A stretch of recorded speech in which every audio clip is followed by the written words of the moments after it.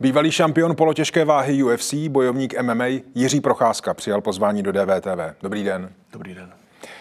Musel jste do svého slovníku nově zařadit pojem prohra? Tenhle výraz ve svém slovníku nemám.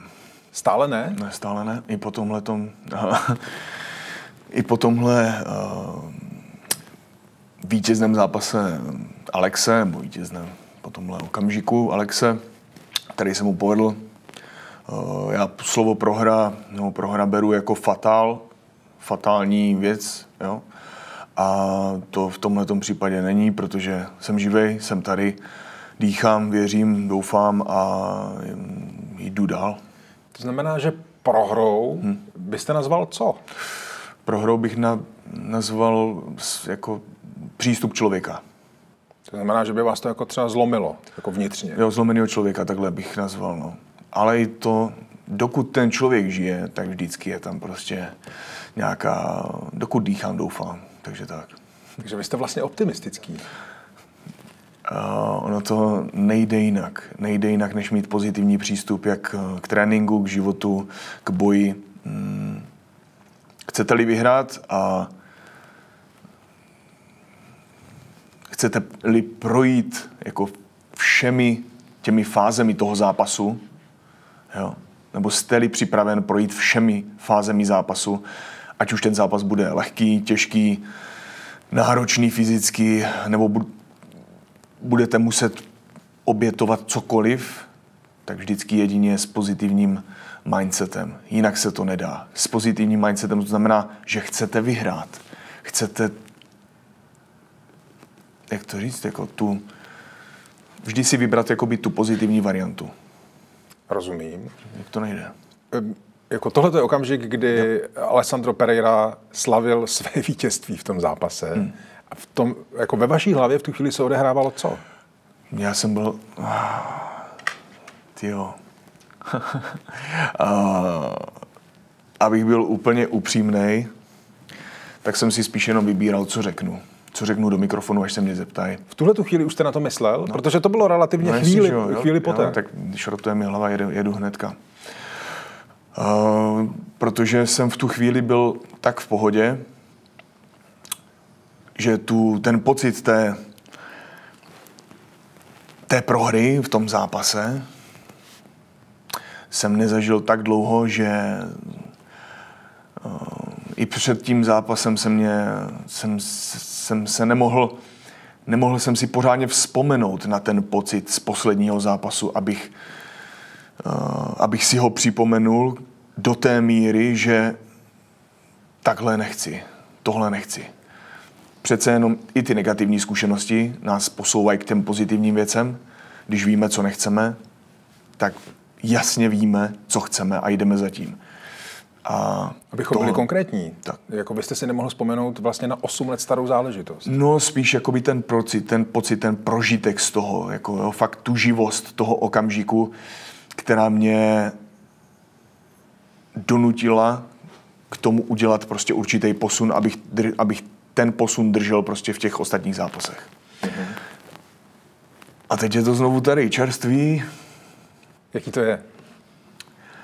Wow, na jednu stranu krásný, protože prostě nemám z toho, nemám z toho strach, nemám z toho, uh, proto prostě neříkám prohra, ne, neberu to jako prohru, protože je to pro mě prostě jen výsledek.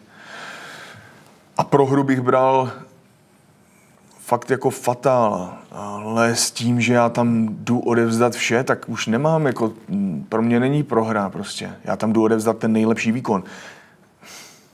Prohra pro mě je to, že jsem v určité chvíli toho zápasu nedržel takovou bdělost, jakou jsem, eh, jaká byla potřeba.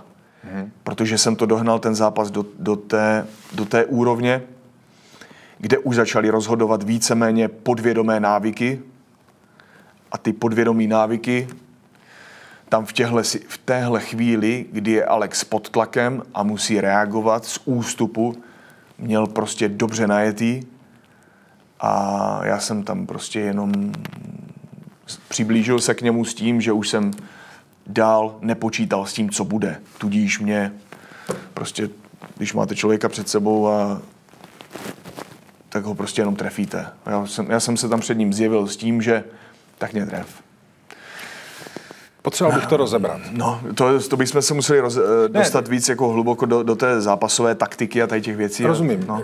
Zas tak hluboko nepůjdeme, nejsem na rozdíl od vás expert, ale zajímá mě jedna věc. Vy jste před rokem byl v DVTV hmm. a tam jste říkal následující věc.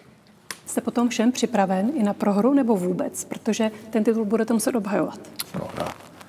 Prohra je, to je pojem, který prostě v mém slovníku ne, neexistuje, protože prohrání ne, fakticky prostě neexistuje. Buď, uh, buď je to vítězství, anebo ponaučení. A tohle to mě zajímá. Je to tak, no. Jako co jste to je ten pozitivní z toho náhled zápasu to. s Pereirou odnesl za ponaučení? To, co jsem teď říkal, je to stav té bdělosti.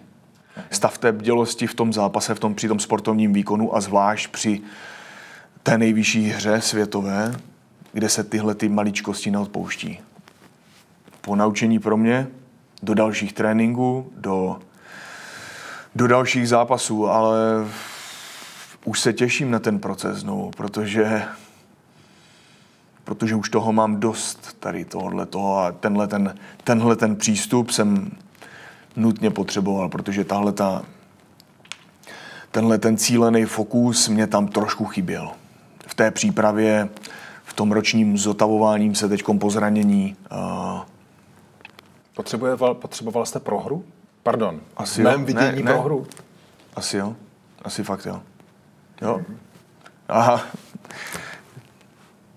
Jo, je to tak, no. Vy to popisujete, že ten výsledek toho zápasu byl vlastně tím v určitou chvíli možná jako menším soustředěním, mm, nastoupení, nastoupení vlastně nějakých jako najetých věcí, Podvědomých návyků. No. podvědomých návyků. Hmm.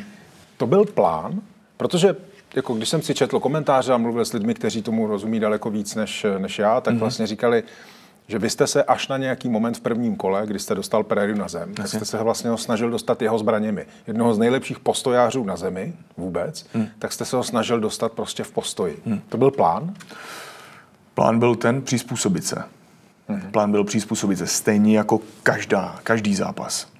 Je ten, že já beru sám sebe, své smýšlení o uh, taktice, strategii do zápase, o boji samotném, o kondiční složce a o tom, co tam funguje, uh, jako o něčem, co se snažím posunout na mistrovský level. Mistrovský, prostě ten nejvyšší.